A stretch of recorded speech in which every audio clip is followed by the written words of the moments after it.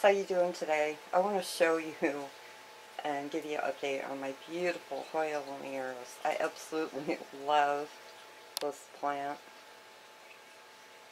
You can see how long it is. It's a beautiful, beautiful plant. I'm not going to be able to have it in frame the whole video, so...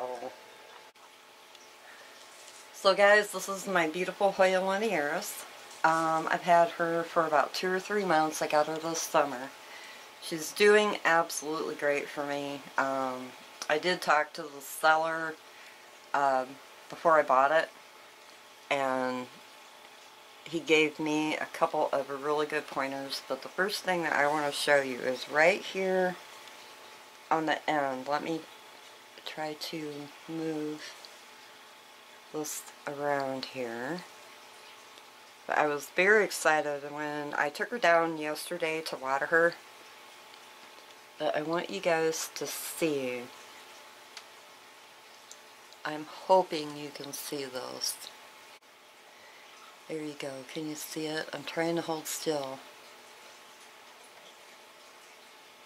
See the bud? It's gonna bloom. I'm so happy.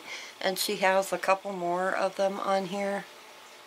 But they're really, really hard to see. Let me see if I can show you. Here's another end. Another bud. Getting ready to bloom. So happy. She's got, well, from what I've seen, three or four on here. But she's got a lot of new growth.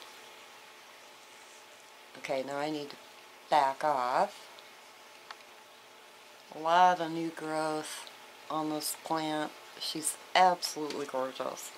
But anyways, um, so I've had her two or three months.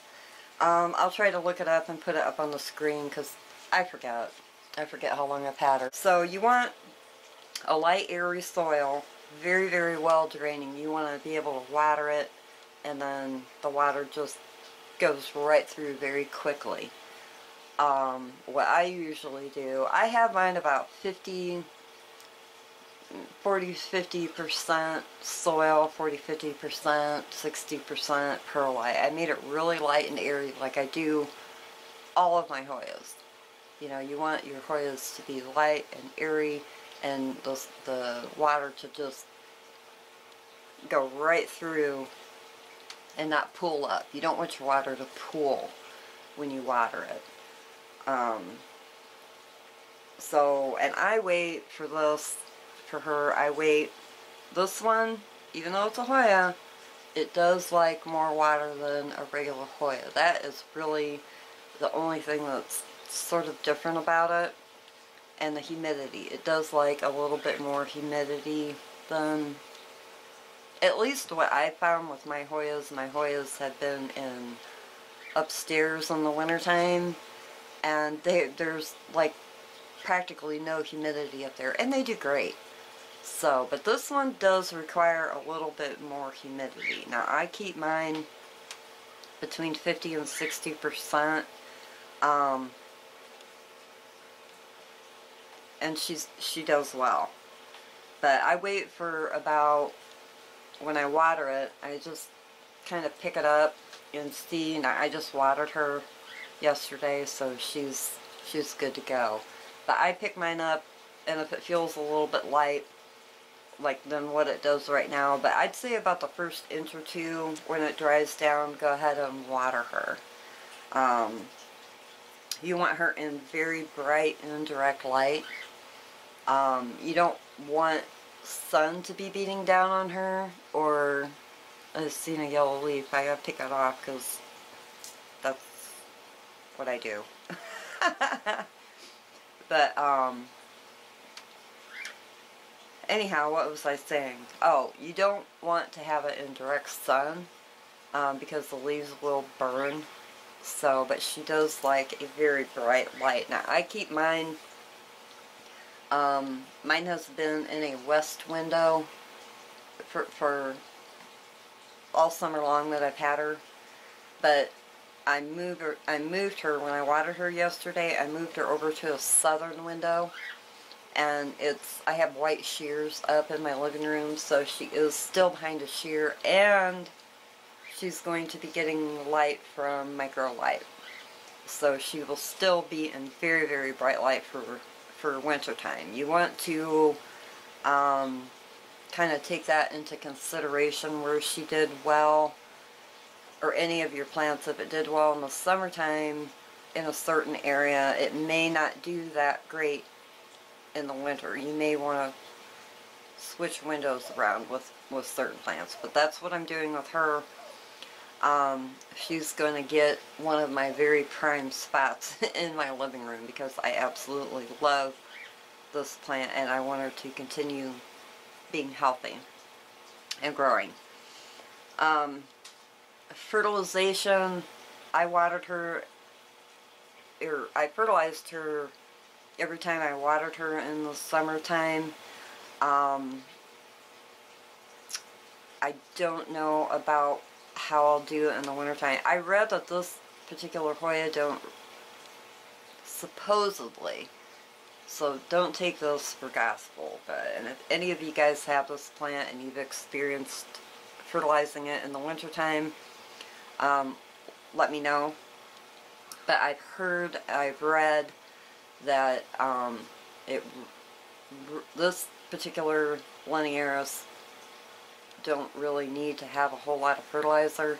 But I was going ahead and fertilizing her because I don't, I use fish fertilizer and when I make a gallon of water, I put a cap full in my water every time and then so my plants are getting fertilized all the time. Um, even in the wintertime I fertilize because I have window light, I have grow lights, and as long as my plants are growing, I fertilize them. But what's interesting about this plant is it comes, it originates actually from the Himalayas. So, um, and it is an epiphyte, which means it grows up on trees or on other plants, which is very cool. Um, I love my epiphytes, which is why I have several orchids, because they're just really cool to grow. Um, but they do like this particular Hoya obviously, since it's coming from the Himalayas, it does like a higher altitude. So typically, when you're in a higher altitude, they're getting a lot of moisture from the air, um, which is great to have it in a well-draining, fast-draining soil, but you still want to let your soil retain a little bit of water. You don't want it so fast that um, you know, the plant's not able to soak up moisture quickly from the roots. These have very skinny roots, so, um, which I think is another reason, and they're soft, and then the leaves are, they look like little green beans growing, or like a pickle plant or something, which is why I think it needs a little bit more water than you know our normal our normal Hoyas. I let my Hoyas practically dry completely out I don't let them get wilty at all, but they get pretty dry before I water them. But this one, it doesn't. Or it, it doesn't like to dry out like that. So the humidity does offer, when you have them in higher humidity, it does kind of help your plant, um, this plant. Because it's sucking humidity in from the air, which is helping it, which is what epiphytes do normally you know, out in the wild. Um, so, as far as humidity goes, I mean, I run a humidifier, so I don't have to worry about misting my plants, but you can mist it, um, you could put it in a bathroom, because obviously bathrooms have a lot more moisture in them, with especially you know, if you're taking a shower every day or your your whole family is taking a shower every day, she would love it, I'm sure. Um, something else you could do is, if you don't have it in a higher humidity, um, you could put it, like, when you have a lot of plants together, um, it naturally kind of makes, they kind of make their own humidity because the water from the soil will naturally evaporate into the air. So if you can put it, you know, put her around a lot of other plants if you don't have a humidifier and you live in a really dry environment, that would help. I'm sure too. Um, I don't know because naturally my plants are all crowded together because I just have way too many I have way too many plants so naturally mine are all together. Um, so in order for this plant to thrive it needs bright light um, humidity.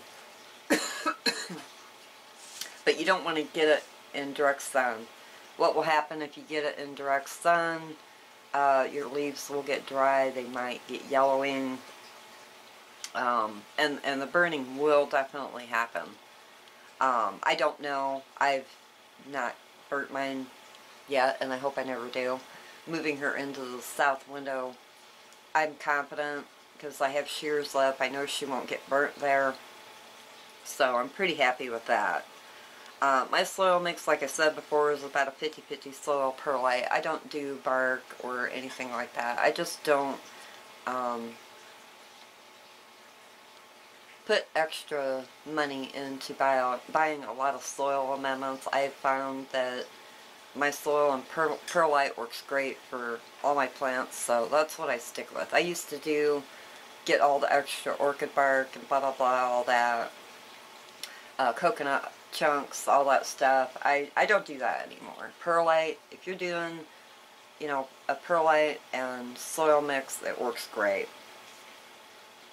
Um, you do want to watch out for your watering. I mean, not all plants need to be watered at the same time uh, on the same day. Like, I know a lot of people have watering days, you know, every Monday or every Sunday or, you know, whatever, and they spend however amount of time every day on that specific day watering their plants. Now, I don't do that. I water my plants throughout the week as they need it. Um, like my my anthuriums need more water than like say my philodendrons do or you know so I just I go through and I pretty much know when I need to water a plant so you know because I've had my plants for a long time and you just kind of know. You have to know your environment in the summer, your environment in the winter. Like I live in Ohio, I run heat all winter long. We've already been running our heat because it's gotten really cold here at night. A lot of times I can shut my heat off during the day, which is, is you know, when you're running your heater, obviously it's drying your air out more. So I have to run humidifiers. But, um, I keep getting... Whew, man, I just had a sneeze attack, and this is sneezed like 200 times in a row. I'm still sick, guys, so I'm congested, and this stuff just does not want to let go of me. But anyways, jeez. Um, let's see. I don't know what I was talking about, but I... I have no clue what I was talking about. Um, anyways, I think I was talking about humidity and environment. You just, you really want to keep an eye, a good eye on this plant. Mine dried out really quickly in the summer, and it's drying out really quickly now again in the winter because of the heat running. Plus, I have fans running in my living room to keep um, air on my plants because of the humidity. So you just, you, you really want to keep an eye on her and make sure she's not completely drying out. Now, I did accidentally let her dry out one time. Um, and I thought, oh my god, I've, you know, killed my plant. But she actually did really well. I watered her slowly. You know, I gave her a little bit of water, let her sit, and then gave her a little bit more water and let her, let it soak down in. And then you know, she was good. I don't think she even flinched with that. But I'll tell you what, I would not want to do that a lot with this plant because it could be very detrimental. Um, if I killed this plant, I would be heartbroken because I love her. She is one of my favorites. I know I say that probably on every video about my plants that, oh, they're my favorite. But I really, really do like this plant. I have so many favorites in my collection. But, um, so anyways, being that the plant is kind of native to a, more humid, um, tropical environment where they like the humidity, you know, it's no surprise that they do love to be in a humid environment. I know my girlfriend, she lives in a really dry area, my girlfriend Chris. She lives in a really, really dry area. Oh, you guys might see my humidifier kicked on. You might see some uh, humidity going around. But she has a really dry environment. And she keeps hers in her bathroom and it is doing great. So, it can be done.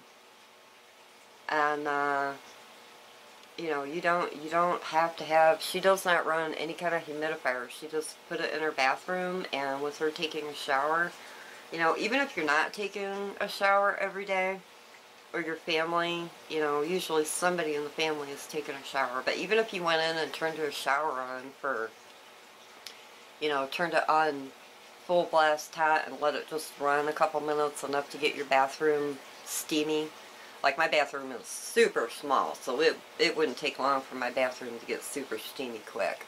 But I'm sure she would love that.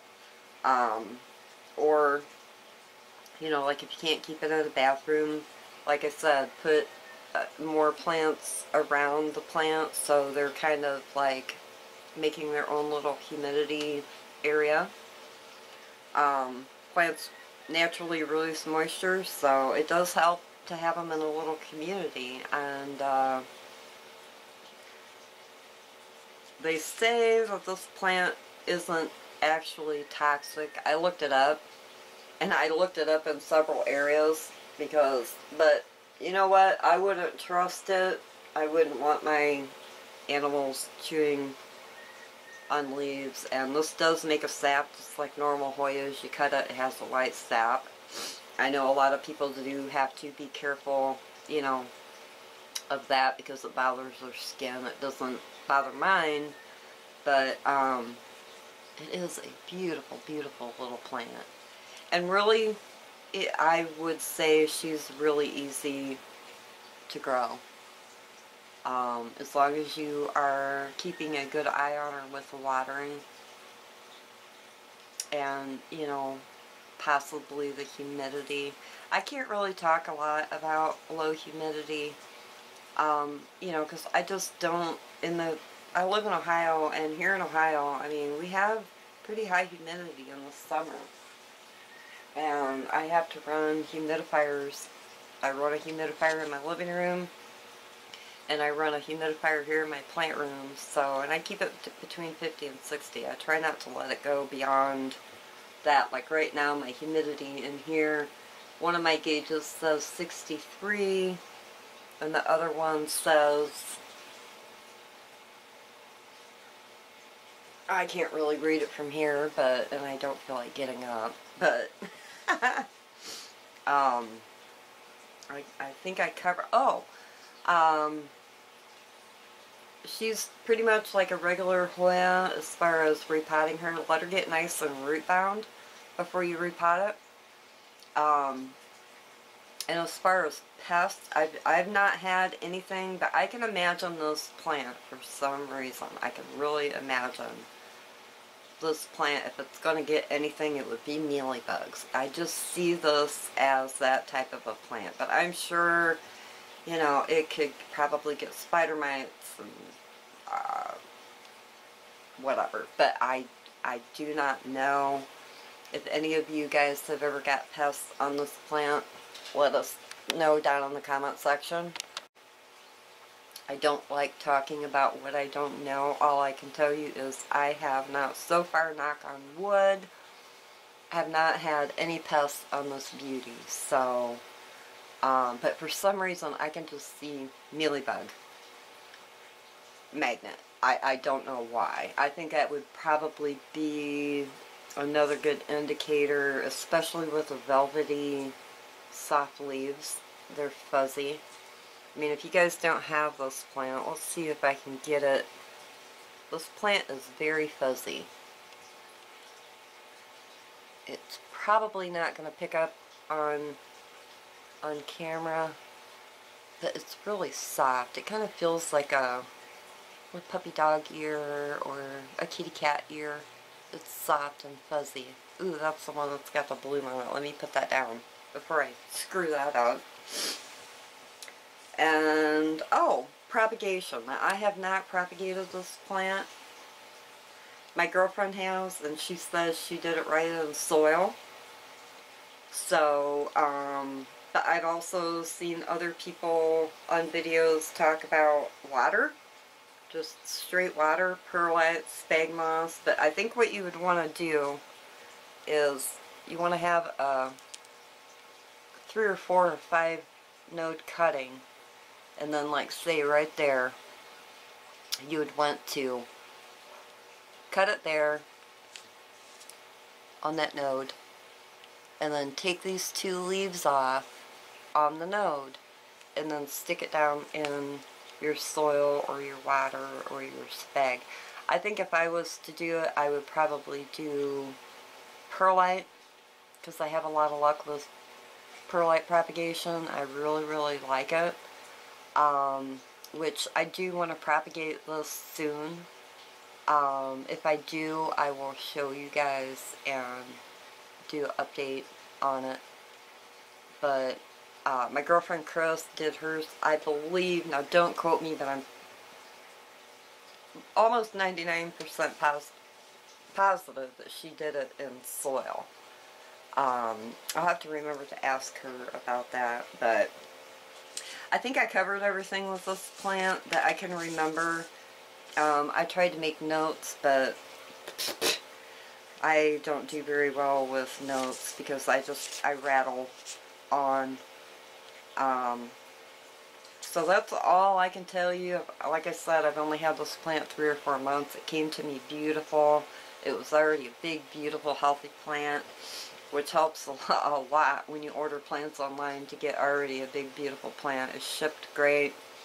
Um, and it hasn't given me any, any, any issues since I've had it in those three or four, two or three months that I've had it. So, um, that's it. That's all I have to say about this plant. So I am going to shut up now and I will talk to you guys later. Have a great day.